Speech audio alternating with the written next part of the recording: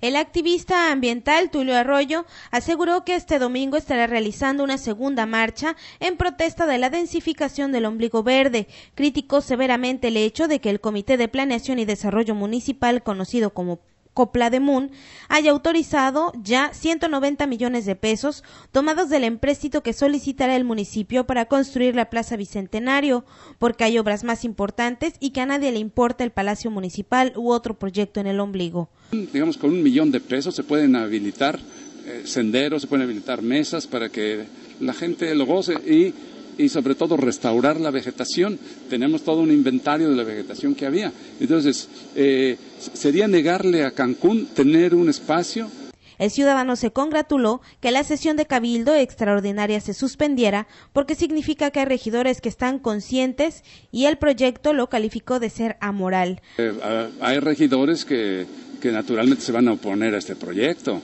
Sí, eh, es de, a todas luces absurdo y es como he dicho, eh, inmoral. Aseguró que este domingo iniciará una marcha y después realizará con todos sus seguidores una red humana simbolizando la protección al ombligo verde. Actualmente el lugar únicamente está densificado por la catedral y su estacionamiento. Con imágenes de Janet Espinosa informó para Notivisión Wendy Sánchez.